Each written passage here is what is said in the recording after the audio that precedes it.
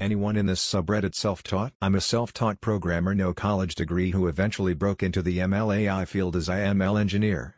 I was wondering who else here is self-taught, and if so, what was your journey? I have an undergrad math degree focus on abstract algebra and non-Euclidean geometry literally only took one stats class.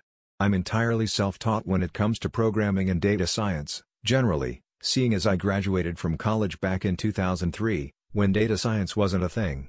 I'm not the expert, but I work at a major multinational company with nearly 100k employees in the US alone, and I'm one of my company's top experts when it comes to MS Azure. I was, EDX landed me a job in analytics, now I'm working on a master's though. I'm trying to be. College is teaching me outdated stuff so I have no choice but to learn it on my own. Was a nuclear engineer and then became a data scientist. Currently going for my master's in AI just to consolidate my experiences and knowledge.